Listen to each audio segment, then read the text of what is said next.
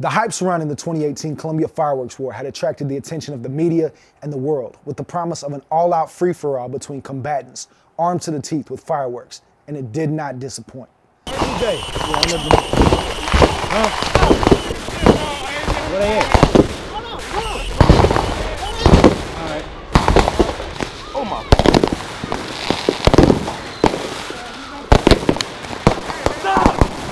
Stop, man! Go, stay in the field, bro.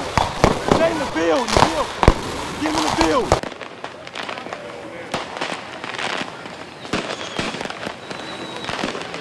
And cleanup efforts for last night's so-called fireworks wars are slowly moving. Over 100 people participated on Demerit Drive in Boone County last night. Despite all the excitement, in the aftermath of the battle, war organizer Armonta Harris did what he did after every war. He led a team of firework warriors to clean up the mess they had made the night before. After a long night of battle with fireworks, it left a neighborhood quite messy in Boone County. But as of this afternoon, that's no longer a problem. Today, you could find participants from last night's fireworks war cleaning up the neighborhood on Demerit Drive. The aftermath of the war caused quite the mess, but like every year, participants come back the next morning to clean up. What's up, bro? What up, what up, what up? You know, the, the, the part everybody hates to do right here, it's the hardest part. The war, the easy part. It's the hard part right here. Whoever participated, they had to clean up. And then if they didn't come, he was going knocking on everybody's doors, making their kids come out. Whoever participated, they had to clean up. Now he was really big on that. The opposing team's captain, CJ Stock, brought out a team from the east side to assist in the cleanup. But as usual, the number of people cleaning up was dwarfed by the number of people who had actually participated. We had 100 plus people last night, Warren. We got four people cleaning up so far. Just how it is, man. I mean, we got more people coming slowly but surely, but we all know the cleanup is always the part when it's a few people and not a lot of people. But it is what it is. We're getting done. Right. And, and uh, still proving the media wrong. They just, they just knew they wouldn't come out back and clean up this neighborhood. Right. Although the people in this neighborhood was warned before we got here and warned after we still left. Oh yeah. Well, we still gonna get it together. For the motherfuckers that don't want to do it, or ain't got no participation in it, don't come out here and say you gonna do something. There's a lot of more motherfuckers coming to clean up, man. I don't know why everybody ain't participating. We ain't gonna worry about it though, we gonna knock it out. I already knew they was gonna do that, dude. Oh, you already know. The little nigga, I already knew it. That's why I came out here, even if I wasn't shooting them. So what side was y'all on? The east. Uh, east side. So y'all came out here with CJ to clean up and shit? Yeah, you know, I heard with Money Man and them too. That's how Hey, this is our neighborhood, so we gotta keep it clean for real. And so you the only one that came to clean up? Nobody? Me, CJ, L, he didn't even war, and my Darius. That was it? Out of Yep. all I, hundreds am I'm, I'm seeing now. I clean up every year, right? It'd Yeah, be like it'd be, it'd be, it'd be like a hundred niggas, motherfucking warrant, but it always be like 20 niggas tops cleaning up. See, that's messed up. Y'all can't want to do stuff if y'all not going to want to clean Exactly. up. And, Exactly. Members of the neighborhood showed their appreciation for the cleanup efforts by providing refreshments to the firework warriors who took the initiative to clean up after themselves. Appreciate it. Because I know you've been down there. Thank you. Look at yeah. Thank you. What is frozen yogurt?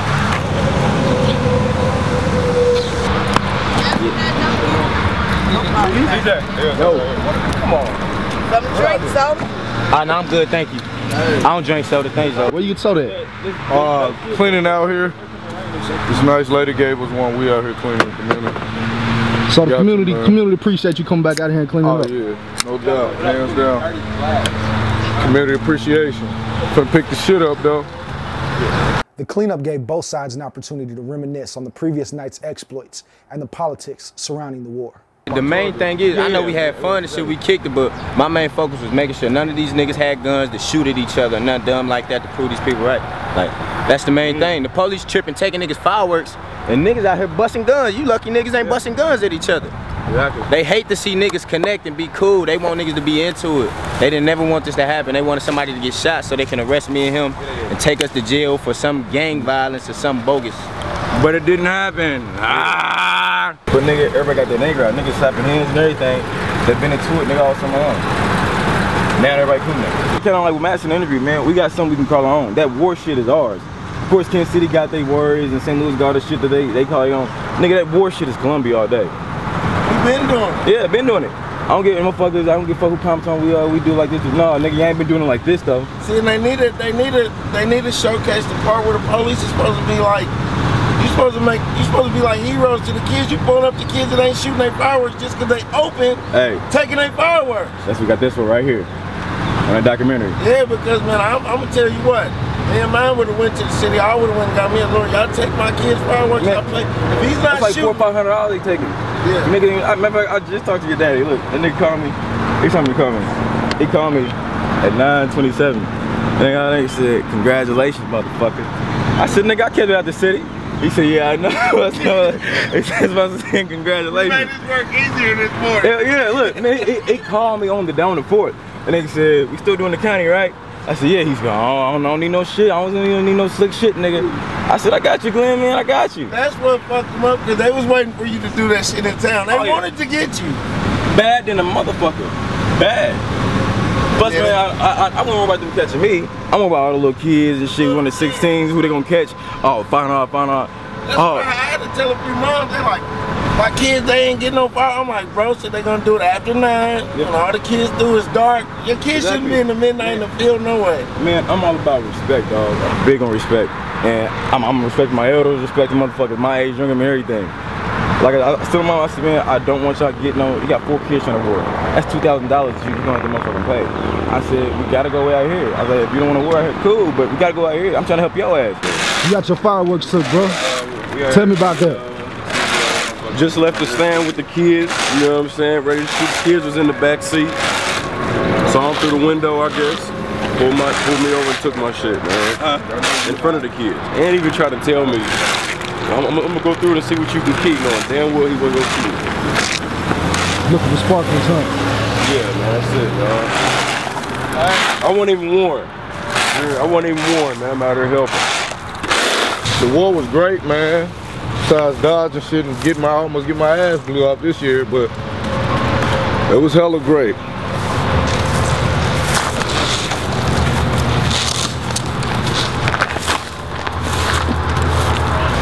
So they said on the news you one of the founding fathers, bro. That's bullshit. I don't take part in that shit no more. I got you, man. What you think about it though? I don't think there's nothing wrong with it personally. I mean, Yeah. it's a good way for people to come together, get along, have a good time without any violence. So I don't know why the city just just don't turn a blind eye and let the kids be kids and have fun. They clean up behind each other.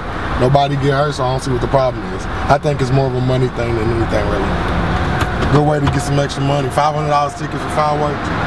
You only got to shoot them. It's just possession. That's bullshit. The cleanup also gave everybody a chance to speak to the media and present their side of things in the face of what would ultimately turn to a push by certain parties to shine a negative light on the war and its participants. I spoke to organizer Amante Harris, who says the outcome of the war promotes something positive. over the years, Columbia has lacked community support and and just community events. Period. And uh, this right here brings the community together. And for the next day, as you can see, it brings the community together, the kids, which is the next generation, together to clean up the neighborhood, which is something positive. I don't think there was any robberies yesterday. I don't think there were any shootings. I don't think there were any stabbings, kidnappings, or any of that yesterday. Because people out here enjoying this. Matter of fact, y'all owe us some money. We need to be paid, man. But you know, CJ Stocking, we reporting live for ABC 17 News, man. CJ, thanks, man. It was good talking to you. You Appreciate it, man. Really though, they need to get that, man. They rather take the fireworks and stop us from having fun, with regards to people shooting at each other and killing each other. Like, what sense is that? Don't make no sense. Amanta's leadership in conducting a mostly controlled war drew praise from some. CPD Sergeant Mike Hester tweeted, Shout out to the firework warriors who took it where it was legal and then shut it down when it went a little crazy. But everybody wasn't happy with the war. Leslie Ann White's 13 year old sister was caught in the fray, despite being uninvolved in the war. When she tried to call for an ambulance, the response she got from emergency personnel infuriated her. Deputies and other first responders refused to come into the quote, war zone, telling Wyatt she needed to transport her sister out if she wanted medical attention. KMIZ reporting confirmed deputies declined to enter the neighborhood and outright refused to give an explanation to the news team. We had heard reports that somebody was hurt, but we have not seen an ambulance yet. Don't know what's going on there. We've been looking around. Boone County Sheriff Dewayne Carey piggybacked off her concerns, claiming responding deputies had been hit with fireworks and told reporters this would be the last fireworks war Columbia, Missouri would ever see. The sheriff, however, never publicly addressed why his deputies refused to come in and aid a citizen in need. My name is Eric Lee. I was working as a firefighter for Boone County Fire Protection District on July 4, 2018. I was stationed at uh, Station 1, which is the Lake of the Woods station. What did it look like? What did it sound like? It was loud. It was very lit up. It sounded like a real war out there. I guess there was a, a lady who uh, called 911 for uh, her sister being injured, uh, and they said uh, we didn't, we wouldn't respond in. Uh, so the case was, uh, of course, always we got to make sure that the scene is safe, the, the, environment is safe for us to come in and do our necessary jobs. Um, at that time, it was not safe for us to roll in, for us to be able to roll in safely and perform our jobs uh, the correct and the safe way. Um, so a couple of our fire lieutenants and our captains, um, they hopped in a patrol car uh, sheriff patrol car. They proceeded through there. Uh, by the time they got there, I guess the uh, victim or the patient uh, had already transported themselves uh, to the hospital. Also, another one of the questions was about the tree fire that caught fire. So the initial dispatch came out as a residential structure fire or something similar to that.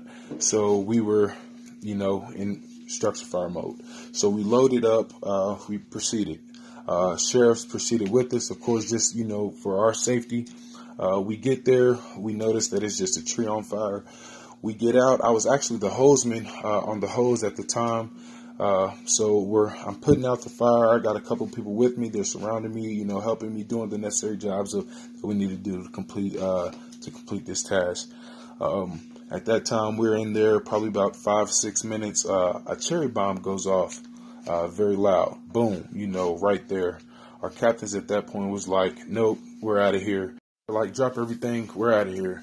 Uh, so at that point, we uh, we just hopped in the truck, we pulled off. Uh, a couple of young guys uh, who was actually participating in the war had actually had actually drained out the roll the hose, rolled it up, actually brought it to me.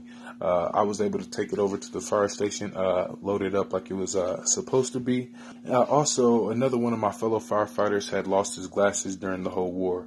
Uh, so uh, the same young gentleman who brought me the hose actually went back, searched, and found my fellow firefighters' glasses, returned them to me. I was able to return them to their Leslie Ann wasn't happy that her sister's situation had been used as a public relations ploy by a sheriff's department who wouldn't even come and tend to her sister.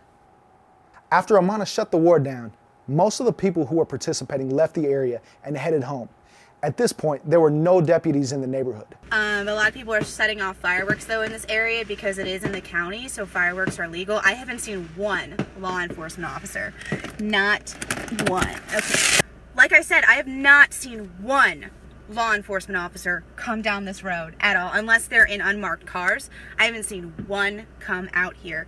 No Boone County, no Columbia police, um, nothing, absolutely nothing at all. All right, we've got a Boone County Sheriff. They're heading that way. Oh, they're going the other way. Footage from CJ's GoPro shows first responders entering the neighborhood only after most of the participants were leaving. Keep going straight.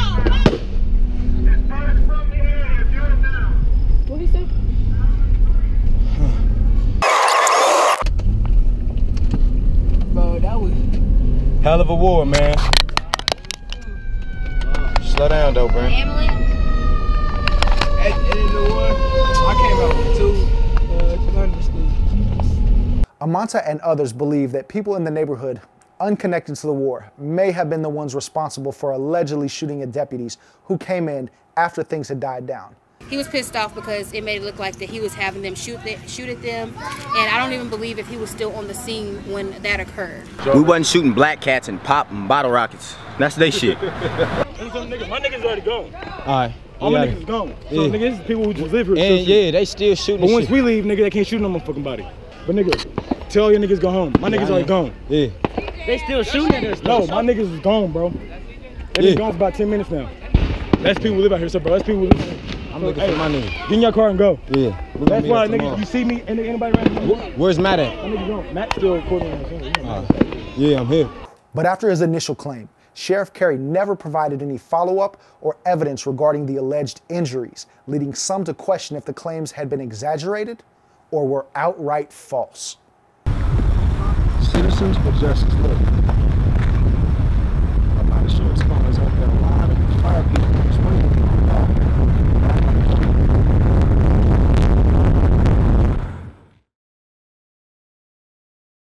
Whatever the case, Sheriff Carey blamed reporters for hyping up the war and increasing its popularity.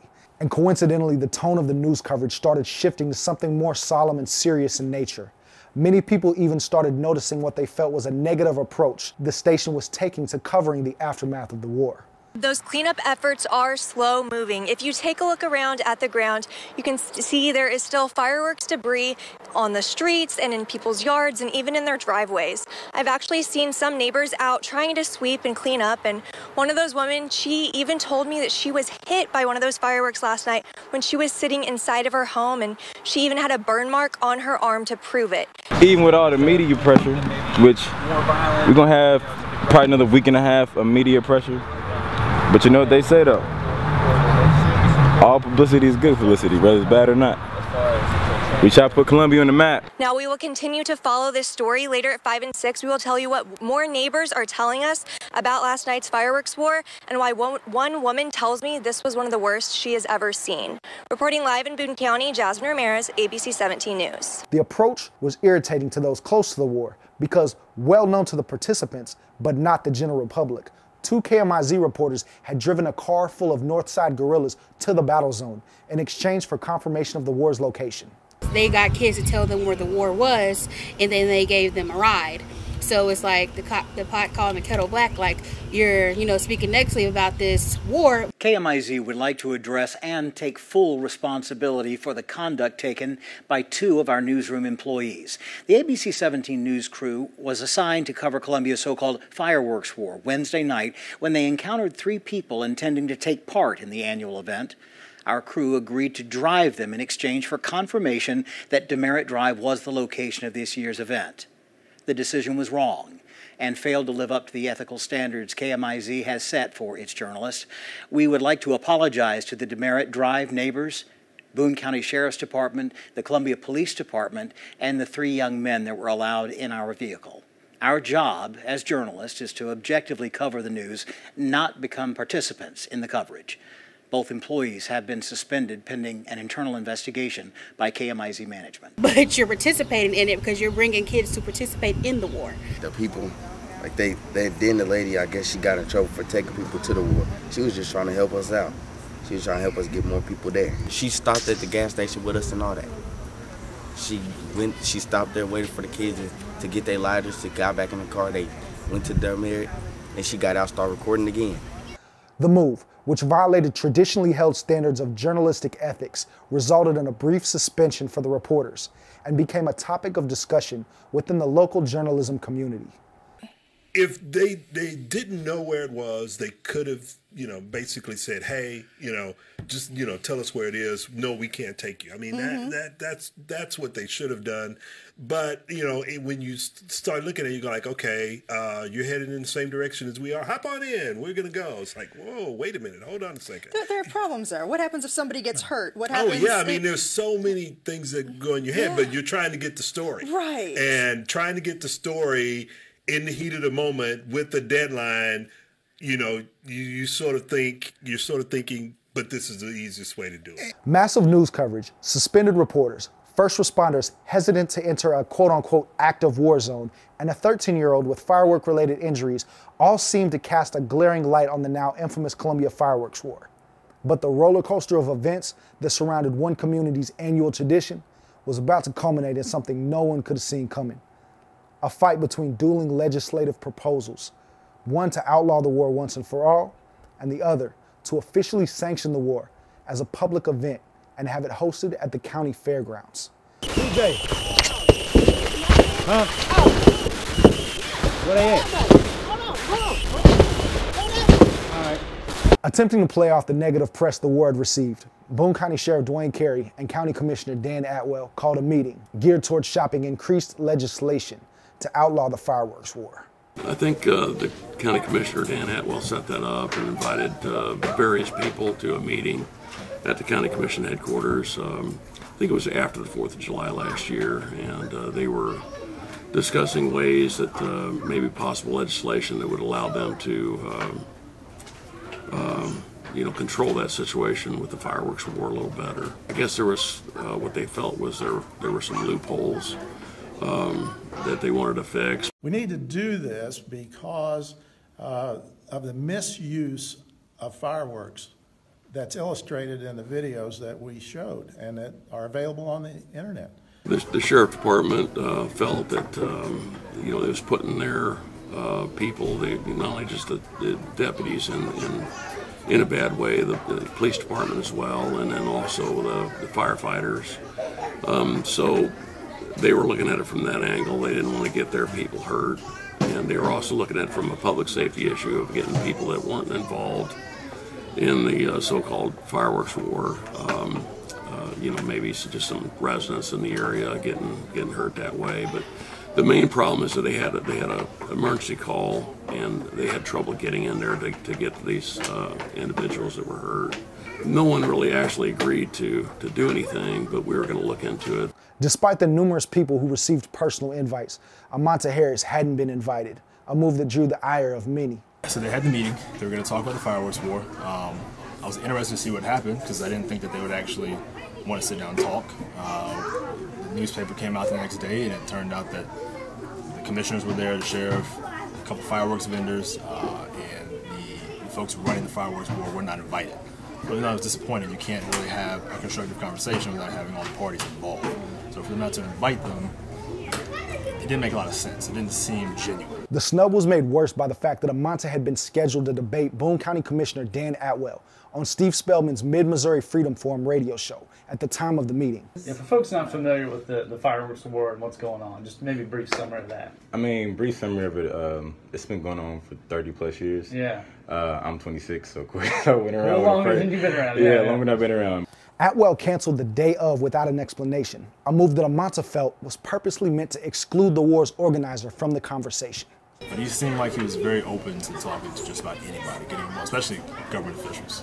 Nobody was hiding. Yeah, it would have been very easy to find folks and, and just get in contact with them. When State Representative Chuck Basye found out Amonte felt he had been cheated out of having his perspective heard, he reached out and arranged a lunch meeting. I reached out. I think I think I went through David Seaman because he was running for office at the time, if I remember right. David uh, facilitated that meeting, so I, I met with Monte at uh, um, Buckingham's Barbecue there in the south side of town. We had lunch together. Very good meeting. We, I told him what was you know what was being kicked around and wanted to get his perspective. I was impressed by Monte. I you know I heard his perspective and and he he kind of painted a, a little different picture what what happened and what I had been, uh, you know, the other information I received or read about in the paper. I, I think if, if I remember right, I told uh, Amonte that I wouldn't, I don't think I'd ever, you know, participate in something like that, uh, at least that scale. But uh, as soon as I first heard about the uh, fireworks war, I got on the internet and pulled it up, and uh, got to be honest, I was I was entertained by it. I immediately sent the link to my kids, and, and uh, we, we had some laughs over it. So, As a response to the proposal to ban the war, David Seaman, who at the time was running against Atwill for a seat as county commissioner, created an alternative proposal, one aimed at hosting the event in a safe atmosphere while continuing the tradition that many held dear. Everybody was, was worried about one property damage, safety, all the basic things. So I thought that uh, maybe we get everybody in the room together and talk about it, and we can come up with a solution. Maybe on the extreme edge that we could somehow get this sanction where you've got medical personnel, you've got the fire department, you've got the sheriffs out there making sure it's all safe, um, so nothing's getting burned down, folks aren't getting injured.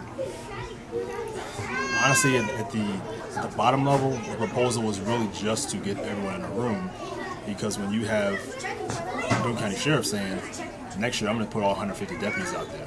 We've got 300 majority black youths out in the dark, adrenaline pumping, letting off small explosives. That's a recipe for disaster. We're just trying to avoid all that, but it didn't come to fruition, unfortunately. It got brushed off. Um, I was, I got labeled uh, as immature and reckless for even suggesting that we sit down and talk to folks. But yeah, yeah. Amanta was fully on board with the proposal to make the war an officially sanctioned event. He had even been making similar plans of his own. He wanted the fairgrounds. That was that was perfect. Like he wanted the fairgrounds. Like he had a plan. Like we're gonna go spread the field a couple days before, so the grass wouldn't be dread wet. Excuse me. Vendors could come in, like people who wanted to sell food, people who wanted to sell water. To participate in the firework war, you had to pay a certain fee. You had to sign waivers. He mentioned like having like EMTs out there or people who were like you know registered nurses, so they can you know perform um, you know first aid. Did Amanta seem to want want to conduct the event in a safe and controlled manner? Absolutely. Yeah, I think that was. Uh, that was pretty much his focus as being as safe as possible, not getting anybody hurt. And uh, yeah, he he said he even uh, afterwards he uh, took efforts to get everything cleaned up. And if I remember right, there was some damage to I don't remember if it was a car or a building, but he he said he paid for it out of his own pocket, the repairs, which, which you can't say that about a lot of people. After considering the proposal that had been presented to him, Representative Chuck Basye decided further legislation wasn't the answer to the infamous firework wars. My concern was that if we passed legislation um, that was specific to Boone County, it would push it into uh, other areas, and I represent parts of Howard, Cooper, and Randolph. So my immediate thought was, well, they'll go to Moberly, and then they'll have the issues up there. You know, I didn't want them singling out one specific group of people. No, legislation didn't get passed. Um, fireworks are still uh, legal in the county and city, or not in the city, but in the county. Um, so you know, July 4th is two weeks away now. So you know, we've slowly marched to this point and haven't had much done. So we'll see. We'll see what happens come July 5th. Yeah. With both legislative proposals eventually fizzling out, one major question remained. What would the future hold for the infamous Columbia Fireworks War? Would the fearless firework warriors continue their tradition, or would the stalwart sheriff have his way and shut down the war permanently? The question became ever more complicated when fireworks war organizer Amanta Harris was killed in November of 2018. The Boone County Sheriff's Department, who handled the investigation, labeled Amanta's death a justifiable homicide. Amanta's family, however, disputed the findings, citing numerous discrepancies in the official investigation, as well as Boone County Sheriff Dewayne Carey's documented dislike for Amanta and his annual tradition. Subscribe to this channel and you might just get to see the results of our investigation into the death of Amanta Harris in the very near future. Until then, happy 4th and stay safe out there.